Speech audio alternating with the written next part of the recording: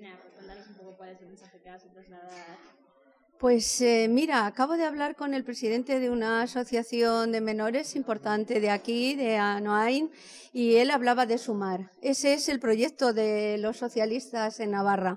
Es un, es un proyecto para sumar, para sumar voluntades, para sumar esfuerzos, para conseguir una Navarra mejor. Yo, es una de las comunidades que se encuentran con unos buenos índices en la política social, pero no son los mejores pero todo es mejorable, pero podemos avanzar mucho más. Si miramos cifras, lo mismo en la aplicación de la ley de dependencia que en las políticas sociales de infancia o de mayores, vemos que hay muchas posibilidades para mejorar. Vemos que hay muchas posibilidades para trabajar también en un proyecto participativo que sume a todo el mundo. Y ese es el proyecto que los socialistas navarros, que en este caso nuestro candidato y también desde nuestra coordinadora en políticas sociales, vamos a presentar esta tarde aquí a los colectivos, en los que ya han participado, pero que puedan participar más un proyecto en el que colabore todo el mundo para conseguir una sociedad mejor. Si algo nos identifica plenamente a los socialistas en España y aquí en Navarra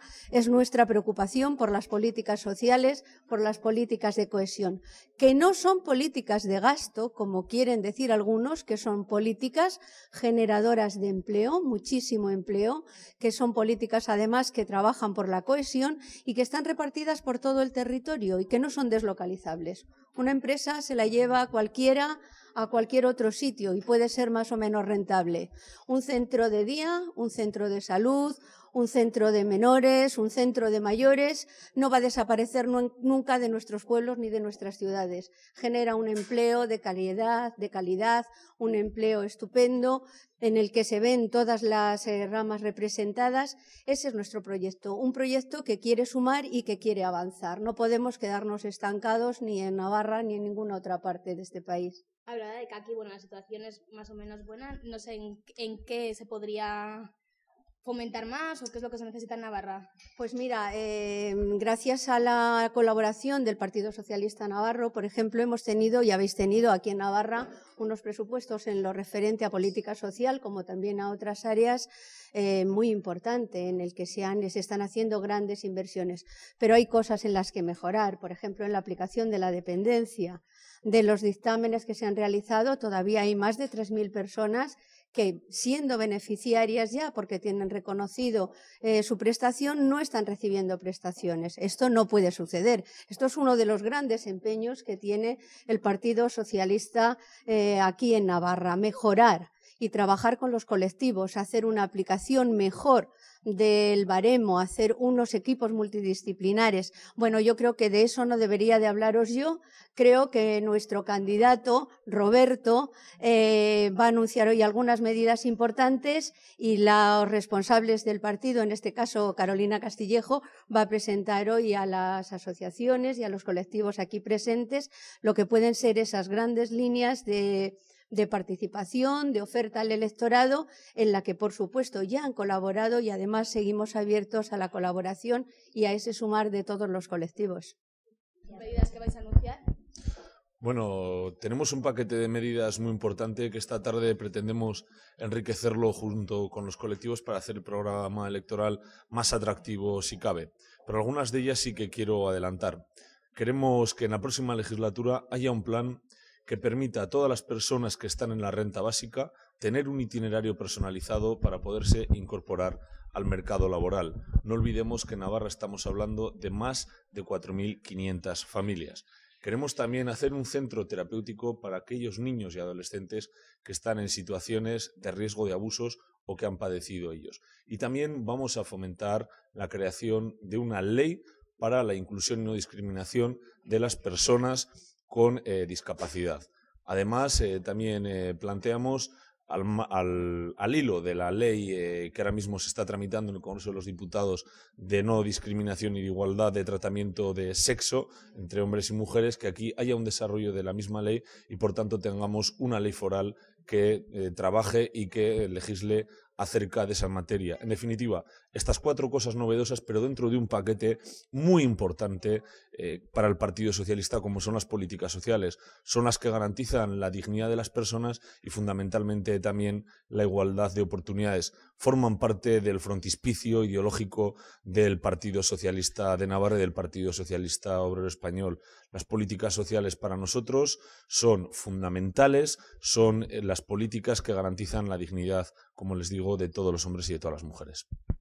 Acudir a este encuentro en el que el Partido Socialista de Navarra quiere cumplir con un, un pretendemos recoger desde el día de hoy hasta objetivos, pero queremos, eh, queremos seguir haciéndolo hasta el día en que ya hagamos eh, la todas las personas que habéis querido responder eh, a nuestra llamada para hacer posible de avance y de cambio eh, para la sociedad navarra y hoy estáis a hacer un mundo más solidario, más inclusivo y más equitativo para el conjunto de entre vosotros y vosotras, eh, a personas que trabajáis, responsables políticos, eh, evidentemente del Partido Socialista, las instituciones y que son pero sobre todo quiero tener eh, un agradecimiento especial y un tejido asociativo y que todos los días os levantáis y trabajáis por hacer el ámbito de la discapacidad, entidades como el CONI y otras asociaciones, migrantes, entidades que trabajáis en el ámbito de la exclusión social y la atención a los menores al servicio de la sociedad. Así que sin más, le paso la palabra a Roberto Jiménez.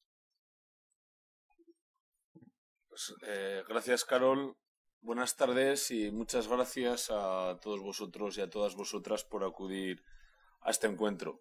Quiero agradecer esta presencia porque para mí y para todos nosotros, para los socialistas, las políticas sociales son una prioridad absoluta y queremos compartir con vosotros nuestras propuestas y, por supuesto, escucharos, escucharos mucho, porque podéis hacer aportaciones interesantes, reflexiones y análisis que nos ayuden a configurar mejores iniciativas y a conocer con mayor certeza la realidad de Navarra en estas materias.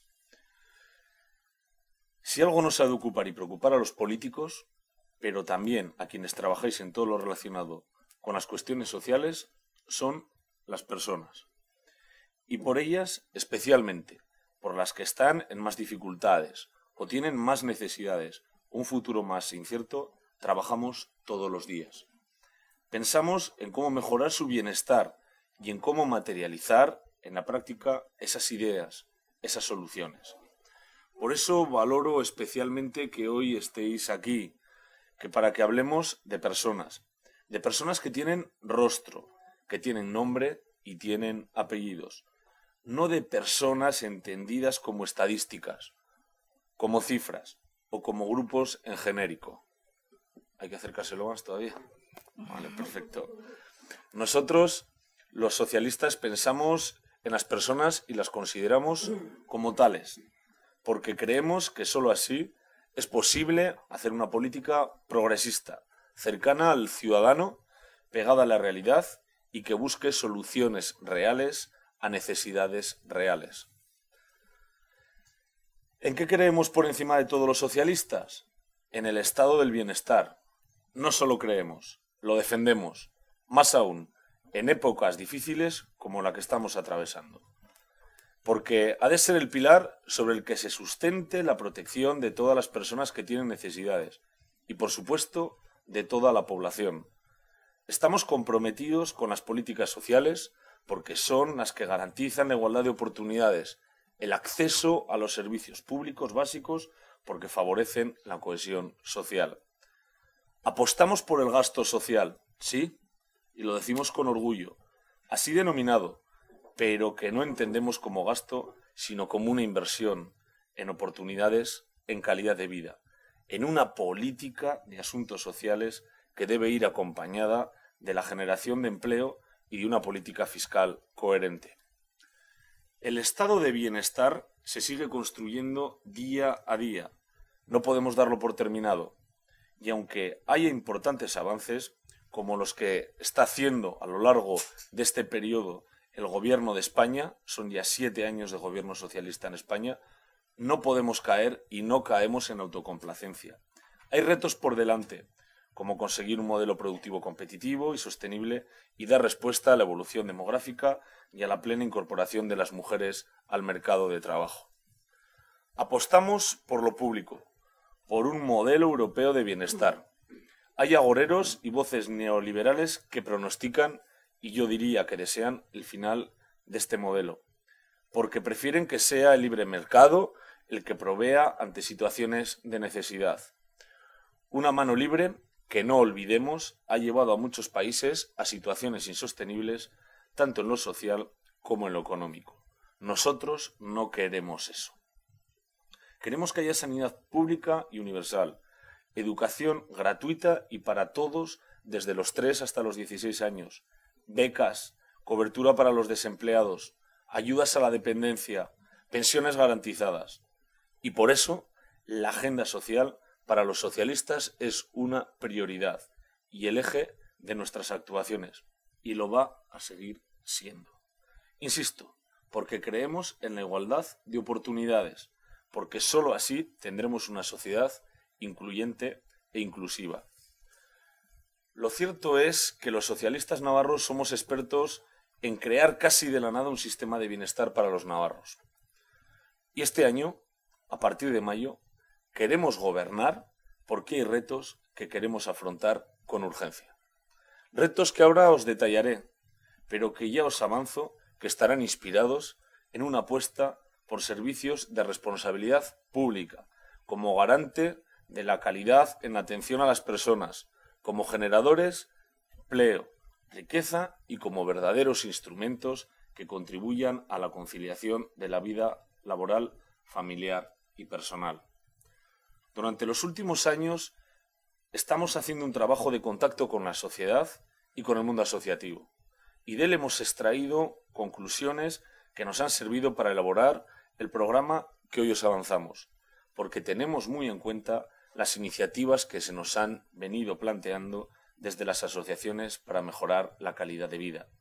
Asociaciones que, por cierto, trabajáis con carácter solidario y os lo quiero agradecer de verdad. Y además tenéis un peso social y económico que permite cubrir muchos servicios indispensables para la ciudadanía incluidos algunos de ellos que tienen carácter subjetivo. El PSN quiere trabajar codo con codo con el tercer sector para fortalecerlo y que se convierta en vertebrador de las inquietudes y demandas ciudadanas. Que trabaje en red con el conjunto de recursos públicos. Para ello se deben incluir nuevas cláusulas sociales en la contratación y financiación pública, y dotar de una financiación estable aquellas iniciativas más importantes, contribuyendo a dotar de una mayor calidad a los servicios que prestan. Nuestra política de asuntos sociales estará diseñada, implantada y evaluada siempre pensando en las personas. No podemos permitir que éstas no vean atendidas sus necesidades, situándose en limbos entre departamentos de la Administración. Por ello, apuesto por una total integración y coordinación de los recursos que afecten a espacios intermedios, como en el espacio sociosanitario o el espacio eh, socioeducativo. Ni una sola persona puede quedar desatendida porque ningún departamento quiera pagar la factura. La factura la pagamos todos con nuestros impuestos y por eso requerimos soluciones a nuestros problemas. Lo mismo debe suceder con otras instituciones públicas prestadoras de servicios. No puede ni debe existir un problema sin atender por una falta de planificación o de recursos suficientes. Creo en servicios de responsabilidad pública y en la necesidad puntual de concertar con otras entidades privadas, pero también creo necesario el control exhaustivo del cumplimiento de la normativa que garantice los parámetros de calidad en la atención a las personas. Ahora bien, nuestra apuesta nunca jamás será la privatización incontrolada de los servicios públicos, a la que hemos asistido durante estos años de gobierno conservador. Os decía que tengo muy presentes algunos de los retos que hemos de hacer frente y que están basados en estos principios que os he comentado. Puedo citar algunos. Proteger a la infancia, especialmente aquella en situación de riesgo o desprotección. Convertirnos en una sociedad accesible para las personas con discapacidad. Atender debidamente a las personas en situación de dependencia y culminar un desarrollo óptimo del cuarto pilar del estado de bienestar. Contribuir a erradicar ese 9% de la población que se halla bajo el umbral de la pobreza en nuestra comunidad, un 9% en una comunidad que algunos llaman rica, facilitando, por tanto, su inclusión social y laboral de esas personas en cualquier situación y a cualquier edad. Convertir a Navarra en una sociedad para todas las edades y que cuente con la experiencia, el caudal, la energía de las personas mayores para construir el futuro entre todos y todas. Medidas para la emancipación de la juventud, con atención especial al empleo y a la vivienda. Navarra cuenta con más de 70.000 nuevos ciudadanos y ciudadanas provenientes de otros países, que no necesitan de discursos anclados en el paternalismo, sino acciones que velen por la integración a través de la vinculación plena a nuestro sistema de derechos y deberes. Tenemos también el desafío de atender a las familias navarras, familias que reflejan la pluralidad de la sociedad de hoy y que merecen respuestas en distintos ámbitos y particularmente en el de la conciliación. Una política de cooperación al desarrollo que tenga como referente los objetivos del milenio de Naciones Unidas. Tenemos también el reto de transformar la igualdad ante la ley, igualdad real entre mujeres y hombres, igualdad en el empleo, corresponsabilidad a la hora de afrontar las cargas familiares, erradicación de la terrible lacra de la violencia de género o el derecho a la salud sexual y reproductiva. Bien, estos son algunos retos que llevan implícitas algunas medidas, porque no nos quedamos en el mero voluntarismo. Hay que trabajar y adoptar soluciones entre todos. La situación de crisis que atraviesa la economía mundial ha aumentado el número de personas y familias que atraviesan situaciones de dificultad en la comunidad foral. Se han disparado las solicitudes de renta básica y otros mecanismos de intervención social y de lucha contra la exclusión social. El otro día me comentaba una trabajadora social que estaban desbordados y que tienen más expedientes que nunca y estaba preocupada porque hay que dar respuesta lo antes posible a esas situaciones de personas que lo están pasando francamente mal. Creemos que es importante reforzar las herramientas para la inclusión sociolaboral de toda la ciudadanía navarra que se concretan en el principal instrumento de inclusión, el empleo. Hoy en día, los servicios públicos de empleo no están capacitados para aportar un puesto de trabajo para cada demandante de empleo, pero sí para mejorar la empleabilidad de toda la población, realizando para cada demandante de empleo un traje a medida. Pero además queremos promover una cultura, un cambio de cultura, desde la convicción de que toda la ciudadanía tiene la obligación y en alguna medida la capacidad para desarrollar un trabajo o un servicio a la sociedad. Queremos, por tanto, fomentar el espíritu emprendedor y animar a que cada persona sea protagonista de su proceso de búsqueda de empleo, y de mejora de su empleabilidad mediante la formación profesional continuada. Para eso es importante tender a acabar con la dualidad entre los modelos de servicios de empleo y los servicios sociales a la hora de obtener un trabajo o de percibir una renta básica. La idea de un salario social con contraprestación y vinculado al empleo está estrechamente ligada al concepto de ciudadanía activa, comprometida y corresponsable consigo misma y con su comunidad. Creemos que todo puede y debe hacer, que toda persona puede y debe hacer algo por sí misma y por la comunidad que le rodea, y acabar así con las situaciones de cronificación en la percepción de subsidios sociales.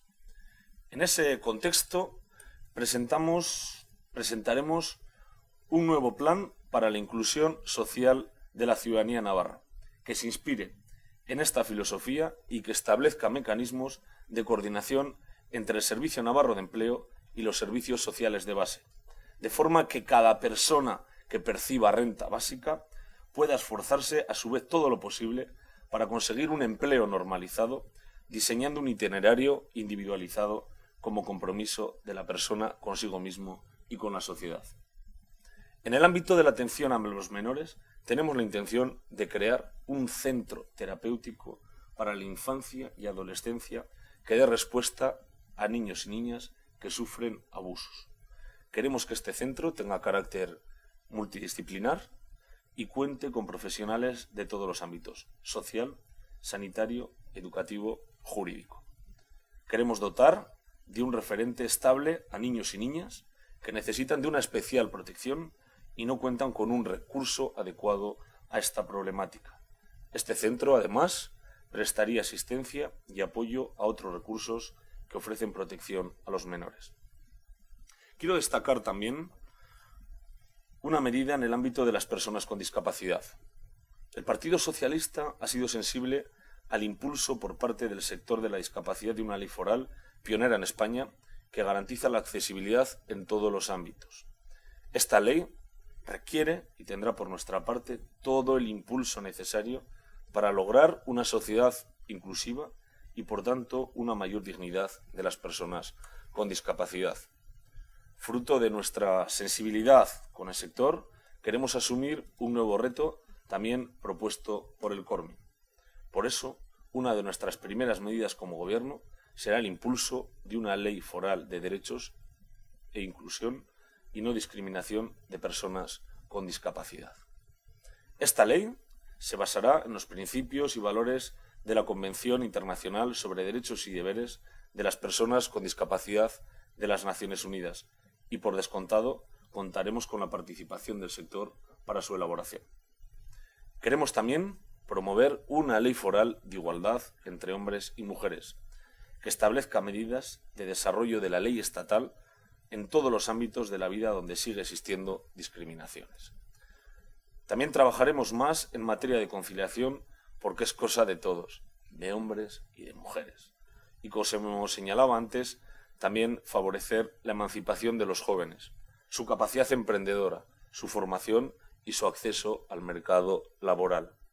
Y plantear un modelo integral de acogida para la población inmigrante. Son pinceladas de un programa social basado en la creencia firme del estado de bienestar, en la igualdad de oportunidades y en la cohesión social. Las políticas sociales son más necesarias que nunca en tiempos difíciles y entre todos debemos seguir construyendo un estado del bienestar sustentado en la atención a las personas. Tenemos retos importantes, como conseguir un modelo productivo competitivo y sostenible y dar respuestas a la evolución demográfica y a la plena incorporación de las mujeres al mercado de trabajo. Y queremos afrontarlo y darle respuesta entre todos. Cuando digo entre todos, digo con vosotros, que conocéis bien lo que estamos hablando, que estáis en primera línea, que sabéis mejor que nadie qué necesidades existen, qué medidas son más urgentes y qué planificación a largo plazo conviene hacer porque los socialistas no queremos petachos ni remiendos. Queremos políticas sociales sólidas, que no tapen un agujero hoy y dejen una brecha o un abismo para mañana. Esto es demasiado serio, porque hablamos de personas, con rostro, con circunstancias únicas, que requieren de una atención personalizada. Os reitero mi agradecimiento por estar aquí, por aportar y por hacernos partícipes de vuestra experiencia. Os escuchamos con atención y lo seguiremos haciendo como lo hemos hecho siempre y lo seguiremos haciendo en adelante.